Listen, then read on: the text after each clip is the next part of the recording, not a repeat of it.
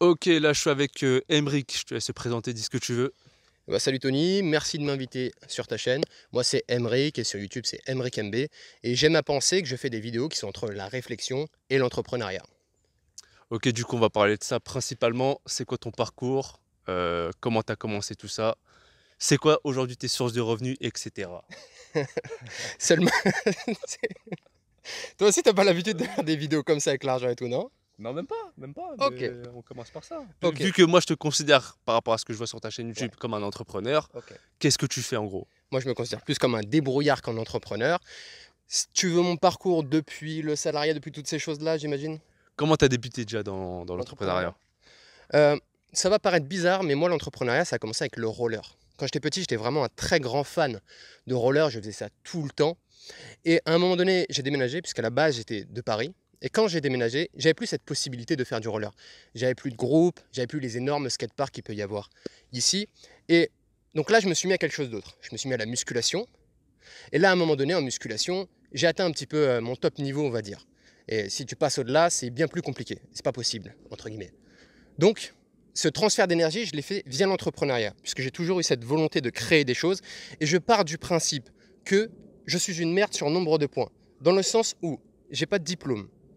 Euh, Qu'est-ce que je vais faire en fait? Tu vois, je vais bosser toute ma vie à McDo, je l'ai fait ça à McDonald's. J'ai fait tous ces jobs de merde. Ça m'intéresse pas. Moi, je veux avoir du pouvoir, je veux avoir, entre guillemets, de la valeur, tu vois. Je veux pas simplement être et, et sans plus, ça m'intéresse pas.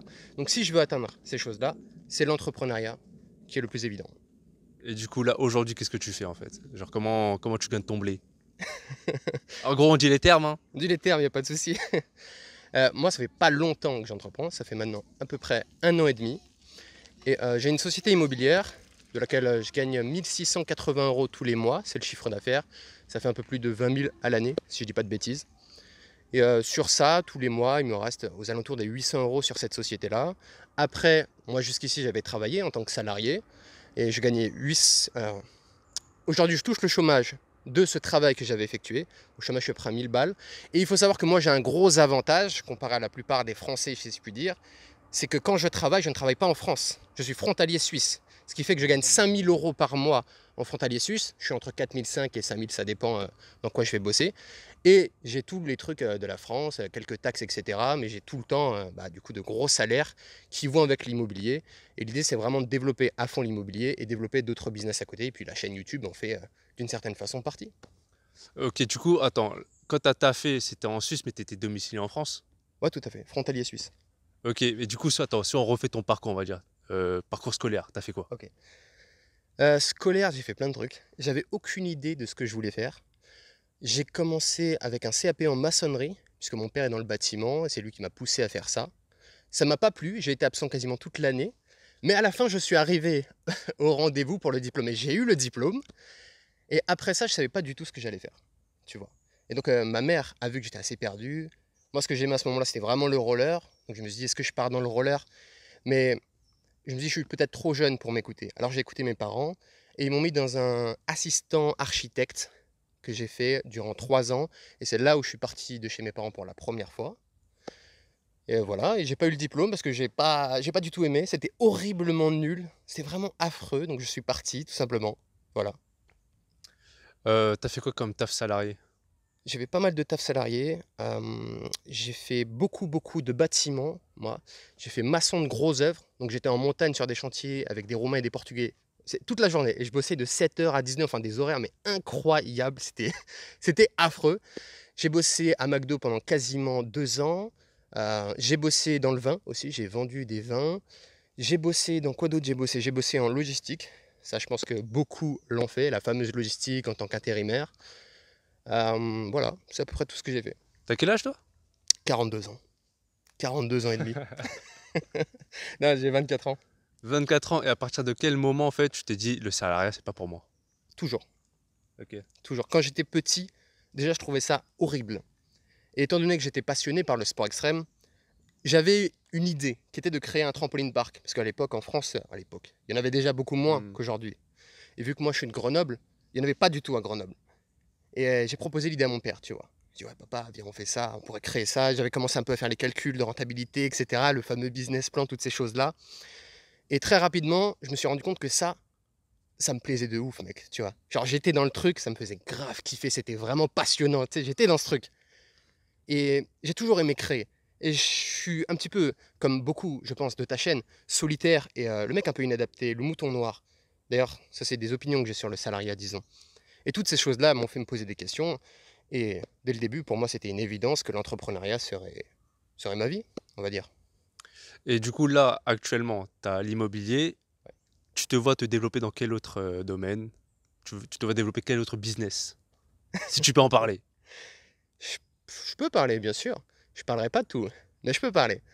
Euh, moi, déjà, il y a beaucoup de choses qui m'intéressent. Et un grand problème que j'ai eu, disons, euh, quand je développe les choses, c'est qu'étant donné que je suis beaucoup polyvalent et euh, je vais me mettre à fond dans quelque chose, je vais avoir une autre idée à côté, je vais avoir quelque chose d'autre. Et je vais me dire, ok, je vais aller là, ok, je vais aller là. Et finalement, je vais jamais au bout des choses. Et c'est quand j'ai compris ça et que je me suis mis à fond dans l'immobilier que j'ai réussi à développer ça. Donc maintenant, j'essaye vraiment de faire grandir encore l'immobilier. Et après, je passerai à autre chose. Et l'autre chose, ça va être les laveries automatiques. Ça, c'est un business qui m'intéresse énormément. Euh, tout ce qui est distributeur de préservatifs, euh, que j'ai commencé en partie, tous ces business-là m'intéressent. Et après, je sais pas. Après, j'aimerais bien avoir quelque chose dans le sport, et plus précisément dans le sport extrême. Je sais pas non plus ce que je ferais. Et je pense aussi que vu que moi, mon but, c'est d'être riche sur euh, tous les plans, disons, euh, je compte pas rester en France. Dans le sens où c'est plus facile d'être euh, un riche parmi les pauvres qu'un riche parmi les riches. Et en France, si je gagne 4, 5, 6, 7, 10 000 euros, même à 10 000 euros, je ne sais pas si je serais vraiment riche. Alors que si j'ai 10 000 euros, je suis en Thaïlande, je suis au Cambodge, si je suis dans, dans ces pays-là finalement, ou même à Marrakech, 10 000 euros par mois, t'es un roi, mon gars. Ah, de ouf. T'es le dieu, quoi. C'est quelque chose. Et, et du coup, attends, là, j'imagine que tu as commencé dans l'immobilier avec des crédits, mais si jamais tu t'imagines faire d'autres business, c'est un peu te mettre d'autres chaînes à ton cou, non? Qu'est-ce que tu veux dire par chaîne? Crédit. Et Après, ça, c'est ma vision. Et alors? Où est le problème? Bah justement, pour moi, ça c'est ma vision qui m'empêche justement de, de me lancer dans, on va dire, l'immobilier, etc. Ouais.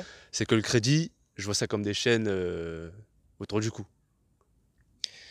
Je peux comprendre cette façon de voir les choses, euh, mais euh, personnellement, c'est pas du tout mon point de vue. Ouais, moi, je vois plus le crédit comme ce qu'il est en soi, finalement, un moyen d'atteindre, d'atteindre les résultats que je cherche à atteindre. Et c'est tout, et je m'en fous. que j'ai un million de crédits, euh, 300 000 euros. Là, je crois que je suis aux alentours des 300 000 euros, je m'en fous. hein, c'est. Rien à foutre. hein. Je pourrais même monter à 2 millions, que j'en ai rien à foutre. hein, c'est. Aucun problème. Et d'ailleurs, ce qui est intéressant avec les crédits, c'est que toi, tu as cette vision-là. Et j'ai essayé de faire investir des gens. Et j'ai remarqué qu'ils avaient tous des visions complètement différentes. La plupart, quand je les faisais parler aux banquiers, aux notaires ou à ces gens-là, ils se mettaient tout en bas. Ah oui, monsieur le notaire. Ah oui, monsieur le banquier. Tu vois ce que je veux dire ou c'est flou? Comment ça? Ils voient les banquiers, les avocats, les notaires, ces personnes-là, comme des gens de la haute ou de je ne sais quoi. Et étant donné que eux, ils sont ouvriers ou ils ont des boulots qui sont pas forcément euh, extraordinaires, socialement, tu sais, ils changent de caste. Ouais, ouais. Ils se mettent déjà bas. Et ils discutent pas avec eux. Ils, je sais pas, ils- comme il y en a qui font ça avec les meufs. Comme s'ils se soumettent. Ils se soumettent. Il y en a qui font ça avec les meufs. C'est Oh, elle est trop belle, oh, elle est trop ci, elle est trop ça. Et finalement, tu diminues ta valeur perçue et tu augmentes la valeur de la personne d'à Mm. côté. Et en faisant ça, les gars, ils arrivent jamais à rien faire. Absolument rien. Parce qu'ils ont ce truc-là où ça va pas finalement. Et après ça, ils ont la peur des crédits. Ouais, mais si je fais un crédit, je vais être enchaîné. Ouais, mais est-ce que le banquier va accepter? Ouais, mais si. À un moment donné, je pense qu'il faut arrêter de se poser 150 000 questions et se lancer. Ok, ok. Euh, une autre question. Là, tu avais parlé de business par rapport aux laveries, par rapport aux capotes. Euh, bourse, crypto, c'est comment? T'as vu un petit, mon petit Reels, toi? Non D'accord, ok. Bah, en crypto, récemment, j'ai perdu plus de 2000 euros. Sur quelle euh, crypto? Euh, moi, j'avais mis sur euh, l'Ethereum et le Cardano. Et puis, le cours se sont complètement effondrés en ce moment. Donc, ouais, j'avais mis aux alentours des 3000. Puis là, il me reste euh, 700 euros, quelque chose comme ça. Mais après, j'ai bon espoir. Je me dis que ça va monter. Hmm. On fait cette vidéo, on est au mois de juillet 2022. Donc on sait pas, ça se trouve dans un an millionnaire. dans un OSDF dans la rue, au chômage, mon gars Rien du tout Toi aussi, t'as investi, je crois, non? Ouais, moi j'ai mis, j'ai Oui, bah, il est où le million? Il est pas là, voilà, on est bientôt, d'accord bientôt, bientôt, bientôt. Faut y croire, hein. Ça, ça, c'est comme... Oui, bon, oui, ça va arriver, bien sûr, oui. Attends, et du coup, la bourse, tu mets dedans ou pas? La bourse, j'ai pas encore commencé. Je vais m'y mettre, mais pour le moment, je, je t'ai dit, si je commence à me dire, allez, vas-y, je fais de la bourse. Ah ouais, vas-y, euh, je fais euh, des cryptos. J'ai commencé, allez, vas-y, je fais de l'immobilier. Je vais faire de la merde, en fait. Je me dis, vas-y, full immobilier, full frontalier suisse. Je mixe vraiment les deux. Et puis, j'ai commencé YouTube euh, déjà. J'ai, tu vois, je me suis dit, vas-y, je mets un petit peu en crypto quand même. Allez, et t'as vu ce que ça a donné? Ouais, après ça arrive, c'est une question de temps aussi. Ça arrive, mais je sais que si je me serais davantage investi, j'aurais pas perdu autant. Tu vois, si je me serais vraiment, je me serais donné comme je me suis donné pour l'immobilier, j'aurais eu de vrais résultats. Mais étant donné que j'étais déjà focalisé sur un frontalier suisse et immobilier, j'ai pas pu développer comme je voulais. Donc je me dis, chaque chose en son temps. J'ai 24 ans. Eh, J'ai toute la vie devant moi, mec. hein. Tu vis seul? Je dois Tu vas en parler ou Je dois développer avec les parents ou avec ta meuf ou... Non, non, euh, je vis avec mes parents. euh, puis on est une famille très nombreuse. Puis on vit dans un espèce de grand château et tout. Donc euh, on est blindés, quoi. Est-ce que de base, tu pars avec certains moyens? Non. Ah, Je sais pas, là j'attends château. ouais, ouais, mais, mais en fait, ça c'est marrant parce que tout à l'heure, moi je suis pas de Paris. Et je discutais avec mon pote de ça. Et lui, il a deux maisons. Il a deux putains de maisons, un petit peu genre euh, château, euh, vieux manoir à l'ancienne. Et ces deux maisons, finalement, elles valent, elles valent 400 000 euros. 400 000 euros. Et on est passé dans une agence à Paris. On regardait un 20 mètres carrés, un 30 mètres carrés. On était déjà à 400 000 euros. Ah bah ouais. Tu vois ce que je veux dire? Ouais. la, la valeur n'a rien à voir à la campagne et à Paris. Ouais, ouais, bah oui, c'est sûr, c'est sûr. Après, là, attends, d'accord. là, là, du coup, un truc à préciser, c'est que tu es au début de ton projet d'entrepreneuriat et que tu pas encore mis les choses en place. J'imagine que dans plusieurs années, on va, aller, on va dire 5 ans, là, si on refait une vidéo ensemble, tu auras développé autre chose. Parce que là, je pense dans les commentaires, ils vont dire, ouais, le mec, autre- entrepreneur, il est au chômage, mais il habite avec ses parents. Tu vois pas ce que je veux dire? Ouais, je vois ce que tu veux dire. D'ailleurs, j'ai fait une vidéo euh, par rapport à ça. Parce qu'en fait, je suis pas le seul dans ce cas-là. Il y en a plein sur YouTube euh, qui ont plein de business à côté. Road to Science, le mec qui fait. euh, il va voir des meufs dans la rue, il les aborde, il a monté tout un business autour de ça. Il a commencé au chômage. Il y en a Ok. plein qui ont commencé au chômage. Dans l'immobilier, euh, il y en a plein. Des noms comme ça, il y en a plein de mecs qui ont commencé, qui sont au chômage et qui sont encore même au chômage. Parce que finalement, moi, l'argent que je gagne de ma société, euh, je la, je la, je la prends pas pour moi. Tu vois, elle reste dans la société. Je m'en sers pas de cet argent. Donc, la société gagne de l'argent. Mais moi, Emmerich, je gagne quoi? Je gagne rien. Tout est, c'est le chômage, tu vois, qui me rapporte, c'est tout. Moi, je laisse mes sociétés tourner. Même quand j'aurai les laveries automatiques, je laisserai les laveries automatiques tourner. Et mon but, c'est tout le temps de réinvestir, réinvestir, réinvestir. Et puis, moi, pour vivre, j'achète jamais rien, mec. Là, je dois être habillé pour 4 euros, tu vois, c'est tout. J'achète rien du tout. Je vis chez mes parents, je suis bien chez mes parents. Voilà. hein. Même, je me demandais, qu'est-ce que je vais faire euh, Par exemple, là, si je veux un appartement, il y en a un où j'ai une belle plus-value à faire. Je peux gagner plus de 30 000, 40 000 euros. Je suis dans ces eaux-là. Je vais faire quoi avec 30 000, 40 000 euros? Alors ouais, je vais les réinvestir, je vais recréer des business, je vais acheter des trucs euh, laverie automatique. Ok, ouais, c'est cool. Mais par rapport à moi, tu me donnes 30, 40 000 euros, euh, je vais me promener en forêt, je vais aller au Mhm. lac. euh, pas T'as grand-chose combien à faire. d'appart Euh, J'en ai trois. 3, ok. 3 à 24 heures, c'est pas mal. hein. Ouais, 3 à 24 ans. euh, chacun a une valeur de 90 000 euros. Bon, après, ça varie euh, selon l'emplacement du mètre carré, mais c'est à peu près ces eaux-là. Et ça fait un patrimoine d'à peu près 300 000 euros euh, qui s'autofinancent tous les mois. euh. et j'ai mis 24 000 euros d'apport pour les trois. Ok. De toute façon, tout ça, tu t'en parles dans ta chaîne, euh, tu développes quoi. Ouais, je développe petit à petit. hein. Ok, et une autre question, c'est par rapport euh, au, au salariat. Est-ce que tu te vois retourner un jour dans le salariat, vu que là tu, tu touches ton chômage, ou est-ce qu'à la fin de ton chômage, tu te vois re-aller travailler, ou tu te dis non, après la fin de mon chômage, c'est full euh, business, euh, entrepreneuriat, etc. En octobre, je redeviens salarié, frontalier suisse. Et euh, moi, je me suis fixé avant mes 30 ans pour faire le million. Avant mes 30 ans pour euh, vraiment être bien, tu vois, financièrement, euh, tranquille, euh, pas de problème. Donc, euh, je vais retourner frontalier suisse, je pense, 3 ans, 4 ans, quelque chose comme ça. Je vais développer YouTube, je vais développer l'immobilier. Là, j'ai un projet d'immeuble, de rapport. Donc, tu vois, déjà, je monte un petit peu en gamme. Et petit à petit, à chaque fois, je vais créer de nouvelles choses, développer de nouvelles choses. Et voilà, avant mes 30 ans, je serai bien. 30 ans, c'est bon, non C'est- il y en a à 40 ans, ils ont toujours rien dans la vie. Bah oui. C'est bon. voilà. Et, et si tu retournes en Suisse, ils t'as fait dans quoi le bâtiment encore? Ah non, le bâtiment, c'est horrible. hein. C'est vraiment affreux. Puis, euh, t'es une merde. T'es globalement une merde, tu vois. Objectivement, c'est- affreux. T'es considéré comme rien du tout. Donc, je ne sais pas encore vers quoi je vais retourner. Je prendrai ce qu'on me donnera. Peut-être euh, vendeur à, Zara ou quelque chose comme ça. Je serai toujours une merde, mais au moins, je serai une merde bien habillée, tu vois. Je me dis, quitte à être une merde, autant être bien habillé. tu vois. Emmerich, viens faire ci, viens faire ça. oui, je suis bien habillé, ça va, tu vois. Donc, bon, on verra. Quelque chose comme ça. T'as combien de temps de la Suisse? Euh, je suis à 7 minutes. Ah ouais. Ah ouais, non, je suis Annemasse pour ceux qui connaissent. Donc voilà, c'est vraiment côté. euh, voilà. Puis vu que j'ai les appartements, j'ai mes parents, euh, enfin, je suis jamais tout à fait au même endroit, tu vois. Des fois, je suis sur Grenoble parce que je les apparte là-bas, des fois, je suis chez mes parents, donc euh, voilà, hein, je tourne comme ça, quoi. Ok, ok. Et pour ceux qui se posent des questions sur, euh, par exemple, comment tu fais pour avoir la dalle, est-ce que des fois ça t'arrive d'être en mode euh, putain, pourquoi je fais tout ça, ça sert à quoi? Pourquoi tu trouves que j'ai la dalle? Ouais. Ah ouais? Bah, C'est une bonne chose alors. Mais pour toi, t'as pas la dalle? Bah, euh, je le vois pas comme euh, avoir faim ou avoir je ne sais quoi, ou euh, pour moi, c'est une évidence en fait, tu vois. Je vais faire quoi? Si j'entreprends pas, si je crée pas de trucs, je fais quoi? J'adore le sport, mais je vais pas faire du sport toute la journée. À un moment donné, je me fais chier quand même. Donc pour moi, créer des trucs, c'est c'est ma vie en fait. Euh, Je vois, je vois pas ce que je vais faire d'autre.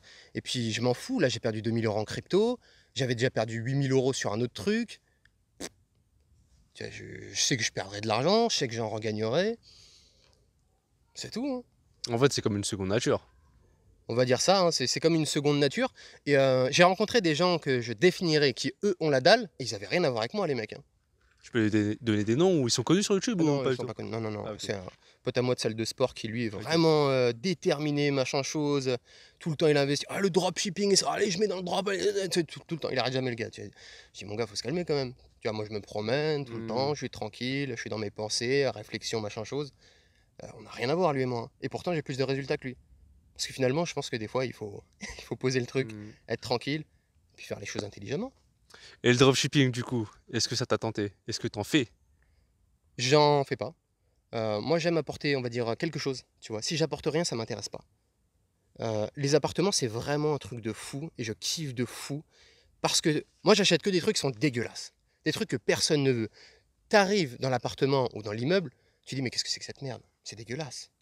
Et j'ai déjà fait avec euh, plusieurs investisseurs, on est arrivé dans le bien comme ça, personne n'en voulait, j'étais le seul à dire ah oui, je signe, il n'y a pas de Mhm. souci. Parce que moi, je kiffe voir les trucs dégueulasses et en faire des choses magnifiques, tu vois. J'adore le beau, j'adore le luxe, j'adore la beauté. Et j'essaye vraiment d'amener ma vie vers une certaine beauté. Alors j'aime créer de la beauté. Donc avec l'immobilier, je le fais. Mais avec le dropshipping, je vais créer quoi? Voilà, on est d'accord. Du blé? De l'argent, ouais, mais l'argent pour l'argent. Comme je t'ai dit, moi, à 300 euros par mois, mec, ça y est, hein, je- mes dépenses personnelles, c'est fini. Donc, euh, que je suis à 300, que je suis à 3000, que je suis à 4000, dis-toi quand même que si je mets le chiffre immobilier, donc 1680 euros tous les mois, si je rajoute mes 5000 de frontalier suisse, je suis déjà bien, tu vois. Et en plus, à chaque fois, j'arrive à créer des petits trucs et à gagner 200, 300 par-ci, par-là. Euh, moi, je me prends mes 300 balles, le reste, euh, tu vois. mais, mais du coup, la question est là, c'est que si t'as des besoins si peu onéreux, pourquoi t'as besoin de faire autant de fric? Euh, je me posais la question la dernière fois. Et euh, je me disais, c'est marrant parce que très souvent, on essaye de recréer ce qu'on n'a pas eu lorsqu'on était enfant. Moi, étant donné que quand j'étais petit, mes parents étaient pauvres, c'était vraiment la galère, 93, bon, tu connais, hein. Et euh, je les voyais tout le temps à découvert, tout le temps galérer avec l'argent, on pouvait jamais partir en vacances, on pouvait jamais rien faire, ma chose. Ils étaient tout le temps, comme je te disais tout à l'heure, avec les banquiers à se rabaisser. Et je trouvais ça affreux, affreux. Donc, je me dis, je fais de la thune, j'en ai rien à foutre. Et deuxièmement, c'est parce que, alors je sais que ça déplaît à certains, mais pour moi, objectivement, je pense que c'est la vérité. La valeur d'une femme, c'est quoi? C'est sa jeunesse et sa beauté. La valeur d'un homme, c'est quoi? C'est l'argent, globalement. Moi, je veux avoir de la valeur et je veux monter dans les castes hautes. Mon rêve, moi, c'est de monter dans les castes hautes. Tu vois, arriver chez les riches et tout, mais toujours en débardeur avec ma casquette. euh, tu vois, et, genre tous les voir, euh, Ah, la, crypto a monté, la bourse de 2000, nanana, tu vois, des trucs de fou comme ça. Et moi, avec une Twingo, tu sais, euh, ah bah, tu vois, un truc comme ça, vraiment. Moi, je veux, je veux faire ça. Tu vois, ça, c'est, mon kiff. Et puis, j'aime bien ce truc-là où des fois, les gens, ils me regardent, ils me disent, ouais, euh, il doit pas faire grand-chose, ou je sais pas quoi, tu sais, avec les dreadlocks, désolé.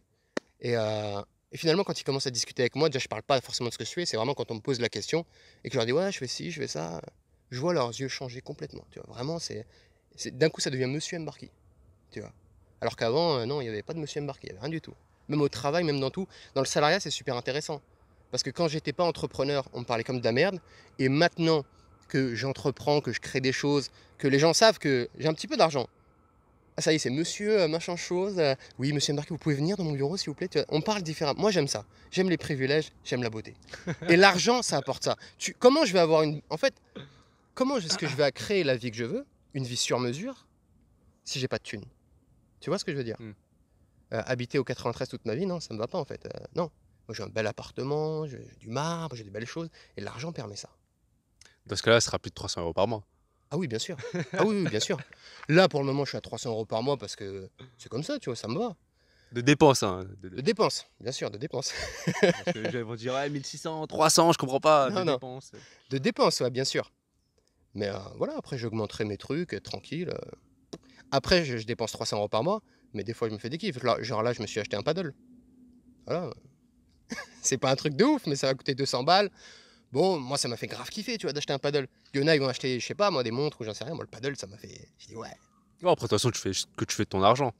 Euh, parlons de l'école. C'est quoi ta vision de l'école, toi qui n'as pas eu de, diplôme et qui aujourd'hui tu t'en sors sans diplôme, sans école? Attention, Tony, j'ai un CAP en maçonnerie, ok Ah.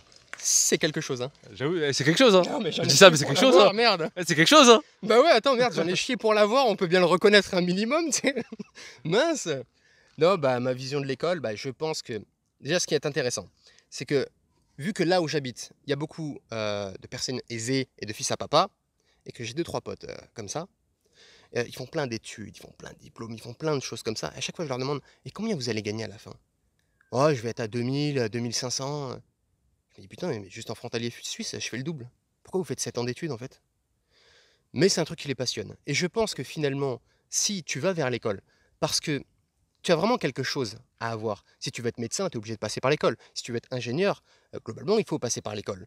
Et si tu as réellement un but, ou si tout simplement tu veux rester dans ta caste, tu as ton père est médecin, donc euh, objectivement tu veux être au même niveau que ton père ou un petit peu plus. Je peux comprendre que l'école peut servir. Mais si comme moi, l'école tu es nul, tu n'aimes pas ça, tu n'y vois aucun intérêt, pourquoi tu restes à l'école? Enfin dans le monde du travail, essaye de créer quelque chose. Avec l'entrepreneuriat, on peut très bien s'en sortir. Voilà, c'est un petit peu ma vision du truc, je dirais. Quand t'as arrêté l'école, qu'est-ce que, ton- qu'est-ce que tes parents t'ont dit? Euh, globalement, déjà, je m'en fous de ce que euh, on peut me dire. euh. Je pars du principe que c'est comme euh, quand tu te mets avec une jolie fille en couple. Il y en a qui vont dire ah, putain c'est super mec, ah, c'est génial franchement, puis en plus elle est bien et tout. Il y en a d'autres qui vont critiquer et c'est tout le temps comme ça. Quoi que tu fasses, même si c'est quelque chose de beau, il y en aura tout le temps qui aimeront, tout le temps d'autres qui n'aimeront pas. Et ma mère, elle a toujours été avec moi, tu vois. Ma mère, elle- pour elle, je vais devenir millionnaire, c'est une évidence, c'est une, c'est une certitude. Euh, ma grand-mère, c'est pareil. Tu sais, ils sont tous derrière moi, puis on habite tous ensemble, donc euh, voilà. Hmm. Mon père, lui, jamais. Vraiment le mec qui ne croit en absolument rien. Euh, je me souviens quand j'ai dit ouais, je reviens à la maison et je vais acheter des appartements. Euh, il m'a dit ouais, tu fais quoi? Tu devrais plutôt continuer tes études. et en plus, tu sais, il a dit Ah, t'arriveras pas à acheter un appartement. J'ai dit ah ouais, on va voir. Et j'en ai acheté trois dans la même année. Voilà. Puis moi, je kiffe ça. Puis je comprends son point de vue, tu vois, mon père. C'est normal parce que lui, il est né, disons, à une époque où le diplôme avait une réelle valeur. Alors, quand tu as des enfants, tu essayes de, de faire au mieux pour eux. Et étant donné qu'à son époque, le diplôme, c'était le truc qui pouvait permettre d'avoir une belle vie, alors il s'est dit, je veux que mon fils ait une belle vie, ce qui se comprend tout à fait. Et donc il a dit, bah, va vers les diplômes. Et puis l'entrepreneuriat, ça parle pas à tout le monde. hein. Puis entrepreneur, c'est un grand mot. hein. Ouais, bah ouais, c'est un petit peu un mot fourre-tout. Mais même Artiste. après, tu vois, pour en revenir aux, aux parents, c'est un peu le schéma traditionnel, classique. euh, Va à l'école, tu as des diplômes, tu fais un travail toute ta vie. Mais aujourd'hui, c'est plus comme ça. Non, aujourd'hui, c'est plus comme ça. En tout cas, en France, après, dans les autres pays, je sais pas, mais euh, globalement, euh, c'est plus comme ça. Là, je suis. Je prends un hôtel dans le 16e. Je voulais le 16e. Parce que j'ai entendu, ouais, le 16e, c'est le truc hypé. Et ce qui est intéressant dans le 16e, c'est qu'avant, ça fonctionnait vraiment par la caste. C'est des gens qui étaient médecins, ils avaient leurs écoles de machin chose dans le 16e et ils se reproduisaient entre eux. Tu sais, c'était vraiment une espèce de truc où tu avais l'élite qui se reproduisait. Donc je voulais voir ça. Donc j'y été, tu vois. Bon, maintenant, ça n'a plus rien à voir, effectivement. C'est. Ah non, c'est plus du tout ça. Et donc, on arrive à un moment donné où on a des gens qui sont surqualifiés. Ils vont arriver en entretien d'embauche, on va leur dire Ouais, mais vous n'avez pas d'expérience. Ou Ouais, mais il faut plus de diplômes. Donc, ils vont pas arrêter. Ils vont sortir de l'école à 30 ans pour gagner leurs 2000 balles par mois. Si c'est quelque chose qui leur convient, à chacun sa vie. C'est tout? Ouais, parce qu'en fait, la plupart des gens, ils n'ont pas des alternatives pour leur faire sortir du quotidien. Bah oui. Tu vois, euh, c'est-à-dire, on leur présente pas tout ça pour leur dire tu peux faire ça, ça, ça, ça, ça. On leur présente directement depuis tout petit un schéma classique qui passe par l'école et les diplômes. Bah, en même temps, si tu attends qu'on te présente les choses, c'est compliqué. Personne va venir te dire, bah écoute Tony, euh, tu sais qu'avec YouTube, tu pourras créer une chaîne YouTube et vraiment réussir à toucher une audience. Tu sais qu'avec l'immobilier, tu peux créer des choses. Non, personne va jamais rien. Ça, c'est un petit peu l'assistanat. Les gens sont assistés et attendent qu'on vienne leur... Ah, Tenez, regardez, vous n'avez pas pensé à faire ça? Bah non. il faut se bouger, il faut avancer, il faut créer les choses, il faut imaginer, il faut développer. C'est tout. Les choses sont faisables. Je discutais avec une fille euh, qui me disait Ouais, vous voulez faire une BD ou je sais pas quoi. euh, et euh, ah, je vais pas y arriver. Elle me disait Tu vois, ah non, c'est trop compliqué, je sais pas par où commencer. Je dis Mais putain, mais c'est vraiment. Comment on peut dire ça Putain, des BD, il y en a combien des BD dans le monde? Combien de mecs ont créé des BD Combien de femmes ont créé des BD Je sais pas, il doit y avoir plus de 100 000 BD. Et ben pourquoi tu serais pas la 101ème Tu vois, qu'est-ce qui ferait que eux ont réussi et pas toi? Tu vois, moi je comprends pas ça. Je me dis, il y a des millionnaires, il y en a des tas, pourquoi moi j'y arriverai pas? Qu'est-ce qu'ils ont de plus que moi, les gars? Ils vont aux toilettes, ils ont deux jambes, deux- enfin, ils ont rien de La plus que moi. dalle. Ouais, la dalle, et alors? Non, il y en a quand même pas la dalle. Il y en a qui ont mis sur le bitcoin et hop, ça a pété. C'est même pas forcément une question de dalle. hein. Je pense que c'est juste une question de, de bien faire les choix, puis euh, d'avoir un peu d'ambition. Aujourd'hui, les gens n'ont plus d'ambition. Forcément, c'est compliqué. Si tu, tu, n'as juste le chômage et tu ne te bases que sur le chômage ou le RSA, que tu ne cherches jamais à avoir plus, bah oui, tu finiras avec une grosse dégueulasse, des enfants moches et à travailler à McDo. Ah, effectivement, oui. Si ça leur va, c'est très bien pour eux. Est-ce que ma vie est mieux? Je ne sais pas. Mais c'est pas ce que je veux, tu vois. Et je sais qu'avec l'argent, j'arriverai à avoir mieux que ça. Si vous voulez des grosses, les gars, euh, foutez rien, vous les aurez. C'est bien, l'assistanat, c'est sympa. Ça se développe beaucoup en France en plus, donc euh, allez-y. Plus, je me suis dit, avant l'interview, putain, faut pas que je déconne, tu vois. Faut pas que je dise. des- Dans mes vidéos, à chaque fois, je sens que je vais déconner, je coupe, tu vois. Je dis, oh non, là, faut pas que je déconne, tu vois. Moi, tu connais, il n'y a pas de montage. hein. Je peux Ah, dire ça comme sais, ça, là. sais, ouais. Non, bah laisse comme ça, je m'en fous. Mais après, je sais que ça va intri- intriguer les gens à aller voir, sur ta, à aller voir ta chaîne parce que 24 ans, euh, tu as une ambition de devenir millionnaire, c'est pas tout le monde tu vois, qui se dit ça. En sachant qu'ils passent tous par le salariat, Ouais. ils n'ont pas d'hésiter d'entrepreneuriat. Ouais, non, c'est une vérité. euh, Mon banquier me disait ça aussi. Il me disait, bah en fait, euh, je suis le seul qui l'a vu qui, est en mode, ah, je vais devenir millionnaire, je vais devenir riche, je sais pas quoi. euh.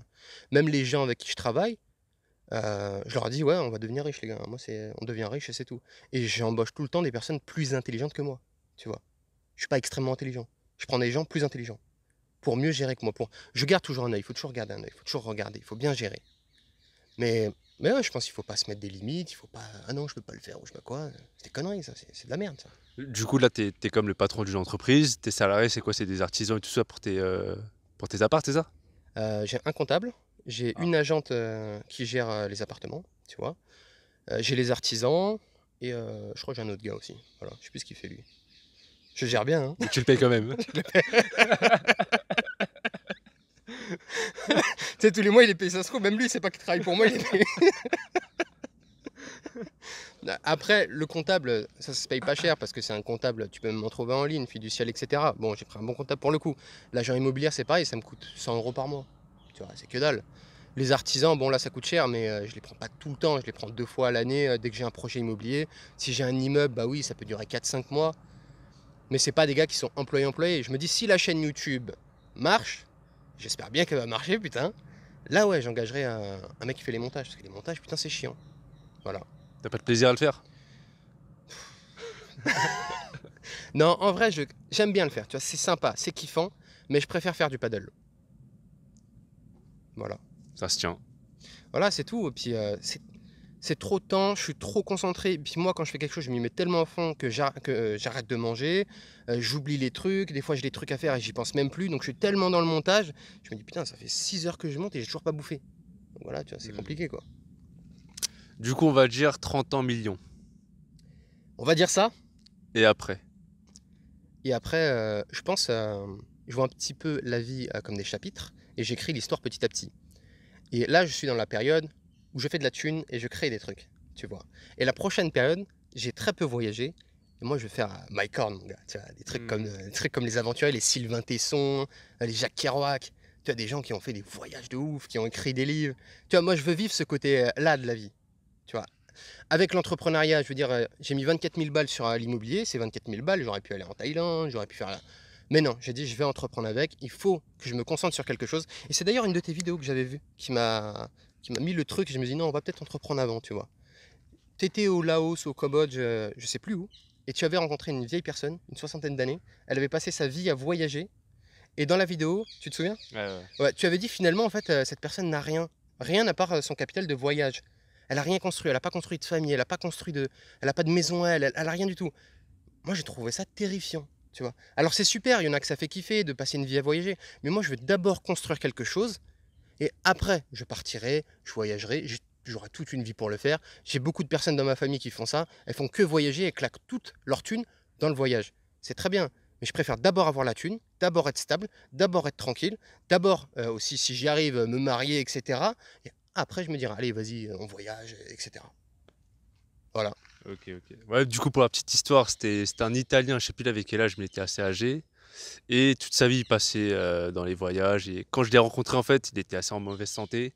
Ah oui, d'accord, ok. Il était, ouais, il était malade et tout ça. Il me disait, ouais, moi, j'ai personne, à part mon frère qui était resté en Italie parce qu'il était italien. Et euh, bah, du coup, il avait personne à qui parler. Et en fait, à moi, pourquoi j'ai fait cette vidéo? Parce qu'il me parlait à ne, à ne plus s'arrêter. Tu vois? Souvent, les vieux, ils font ça. Je sais pas pourquoi. Solitude. Ouais, la solitude vidéo jouée. Hein.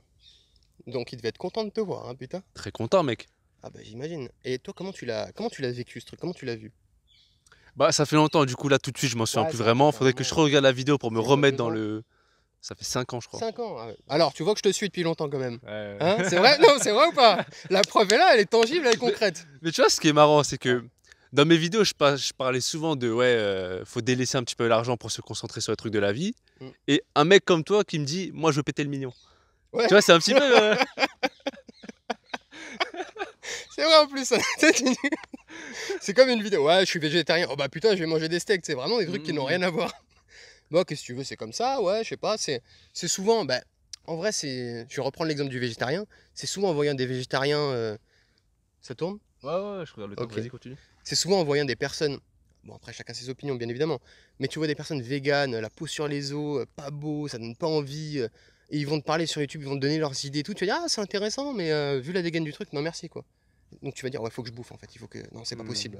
Et là, quand j'ai vu ce mec de 60 piges, là, je dis, ah ouais, non, non, c'est. Non. Non, en fait, euh, on va d'abord se concentrer, on va d'abord faire du fric. Parce que franchement, moi, je me suis laissé jusqu'à mes 30 ans. 30 ans, c'est grave jeune, c'est tranquille. En plus, j'ai commencé à 22 ans, je me suis laissé 8 ans pour péter le million. En patrimoine immobilier, hein, bien sûr. hein, donc, euh, j'ai fait une vidéo là-dessus, si vous voulez aller voir. Donc, ouais, euh, tranquillement. Après, euh, Et franchement, est-ce qu'il y a besoin d'avoir la dalle? Je sais pas, mon gars. Franchement, t'achètes un appartement par an, tu l'as le million, ça y est. hein. Est-ce que c'est compliqué d'acheter un appart tous les ans Ouais, parce qu'après, c'est différent d'avoir le million, on va dire, sur ton compte en banque Voilà. et avoir le million Voilà. en termes de valeur immobilière. C'est ce que les gens, la plupart des gens ne comprennent pas en fait. Et Ah c'est bah ce que oui. je comprenais pas aussi avant de m'intéresser un petit peu. D'accord, bah oui, bah voilà, bah j'avais fait une vidéo là-dessus parce que les gens comprennent pas forcément, et puis même ils comprennent pas chiffre d'affaires et net. Et euh, moi, l'idée, c'est d'avoir un million en patrimoine qui s'autofinance. Et tous les mois, réussir à avoir, bah, de toute façon, euh, si tu as un million de patrimoine, ouais, je serais sûrement à 10-15 000 euros de loyer qui tombent tous les mois, surtout si j'ai mis du Airbnb, des colocations, ce genre de choses là en place, et que sur la fiscalité, j'ai été bon. Donc ouais, tous les mois, je devrais me sortir bien mes 4 000, 5 000 euros par mois tranquillement. Et puis à côté, les laveries automatiques. Puis à côté de ça, d'autres business, des trucs dans les sports que j'ai envie de créer. Bien évidemment, sur YouTube, je ferai comme tous ces, ces entrepreneurs euh, 2.0 du web qui achetaient ma formation, ce genre de choses-là. du coaching en ligne pour apprendre. Ah, c'est... moi, ça me fait kiffer ce truc, je trouve ça trop marrant. J'ai trop envie de le faire, c'est trop drôle. Euh, quand tu auras plus d'abonnés du coup. Ouais, quand Mais, mais, mais en fait, tu vois, comme j'ai dit, on pourrait croire que c'est contradictoire dans le sens où moi je parle de spiritualité, des trucs comme ça, et toi tu parles euh, là principalement de thunes. On pourrait croire que c'est contradictoire, mais même- c'est une vidéo que je veux faire ça, dans le sens où le spirituel et le matériel, en fait, c'est deux, faces de- deux faces d'une même pièce. Et c'est pour ça que c'est pas parce que tu veux péter le million que moi je vais te dire non, ne le fais pas, etc. Tu veux le faire, c'est ton plan, t'es là pour ça, bah vas-y, fais-le, tu vois. Puis si tu me dis de pas le faire, Tony, je le fais pas. c'est bon. Du coup, fais-le, fais-le, fais-le. Fais-le, bah je le fais plus, c'est bon, j'en ai marre, je me casse. J'arrête toute cette merde, je retourne dans le 93, c'est bon. Non, ouais, puis euh, c'est comme je te disais tout à l'heure, finalement. Euh, ah, que quelqu'un dise quelque chose, quelqu'un dise autre chose, s'en fout en fait. Fais ta vie, avance, euh, rien à foutre. euh, C'est tout, hein. Si tu commences à. Parce que moi, on m'a beaucoup reproché mes opinions politiques et machin chose. En fait, qu'est-ce qu'on en a à foutre, tu vois? Je veux dire, c'est fou. Toi, tu pourrais, tu pourrais être je sais pas quoi ou machin chose. Si j'accroche bien avec toi, j'en ai rien à foutre, tu vois. C'est cool, il n'y a pas de problème. Mais bon, les gens ne comprennent pas ces choses-là. Il faut que tu aies, absolument le même avis que tout le monde. Il faut que tu sois un mouton. Tu n'as pas le droit d'avoir un avis différent. À partir du moment où tu as un avis différent, ah, c'est le drame. Ça y est, là, c'est fini. Moi, je pense qu'il faut penser un petit peu différemment et je crois que sur ta chaîne, la majorité pense différemment. Et c'est ce que j'aime sur ta chaîne. Merci, merci, merci. Bon, du coup, bah, la chaîne d'Embrick dans la description. Euh, là, t'as combien d'abonnés déjà? 250 000. On est au mois de juillet 2022. On se donne rendez-vous dans 5 ans. Dans 5 ans, à combien je serai en abonnés Ouais. Je sais pas, là, je suis aux alentours des 250. Pff, Moi, l'objectif ultime, on va dire, c'est 10 000 abonnés. Est-ce que je vais y arriver? Je sais pas. Non, non, j'avais 100 000 au moins. Je te dis, je me donne pas des objectifs de ouf en vrai. hein, C'est pas. Là, on assiste à la naissance d'un futur grand YouTube. Là. Inch'Allah Thibaut Inchep, j'arrive Squeezie, me voilà Non, ouais, pff, on verra. Ouais, déjà, déjà les 1000 abonnés, je serai content. Après, si je passe les 10 000, et puis. ouais. Inch'Allah, comme on dit. Ok, bah du coup, sa chaîne dans la description.